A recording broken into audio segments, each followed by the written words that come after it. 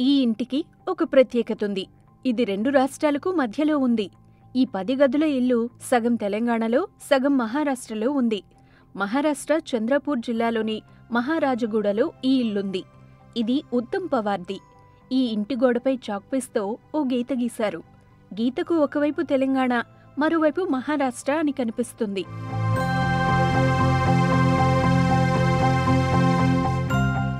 రెండు రాష్ట్రాల్లో ఉండటమే కాదు రెండు రాష్ట్ర ప్రభుత్వాల సంక్షేమ పథకాల ద్వారా ఈ కుటుంబం లబ్ధి పొందుతోంది.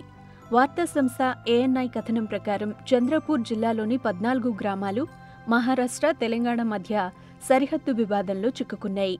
కానీ తనకి ఇప్పటి వరకు ఎలాంటి ఇబ్బందులు లేవంటున్నారు ఈ ఇంటి యజమాని.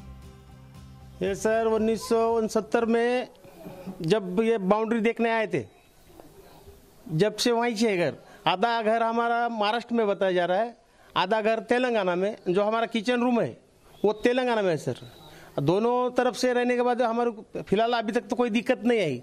टैक्स तो दोनों स्टेट के भर रहे सर। ग्राम पंचायत का जो टैक्स है, दोनों ग्राम पंचायत का भर रहे योजनाएँ जो है, तेलंगाना के फ़िलहाल में ज़्यादा मिल रहे हमारे। रैतु बंधु के पैसे मिल रहे क्रॉप लोन कुछ ईमाएँ है, वो ईमा मिल रहे और जो पेंशन वाले ओल्ड पेंशन वाले उनकी इधर से पैसे ज़्यादा मिलते सर ఈ ఇంటికి తెలంగాణ ప్రభుత్వం ఏర్పాటు చేసిన బోర్డుంది ఈ కుటుంబం ఉపయోగించే వాహనాల్లో కూడా రెండు రాష్ట్రాలవి ఉన్నాయి వీరి కారు తెలంగాణ రిజిస్ట్రేషన్తో ఉంటే బైక్ మీద మహారాష్ట్ర నెంబర్ కనిపిస్తుంది అన్నదమ్ములిద్దరూ ఈ ఇంటిని పంచుకున్నారు వీరిలో ఉత్తమ్ పవార్ వంటగది తెలంగాణలో ఉంటే హాల్ బెడ్రూమ్ మాత్రం మహారాష్ట్రలో ఉన్నాయి ये घर में हम बारह बारह तेरह कैंडिडेट है सर जब हम दोनों भाई एक जगह थे अब डिवाइडेड हो गए तो चार रूम बड़े भाई के तेलंगाना में बता रहे और चार रूम मेरे महाराष्ट्र में बता रहे मेरा जो किचन रूम है वो तेलंगाना में बता रहे सर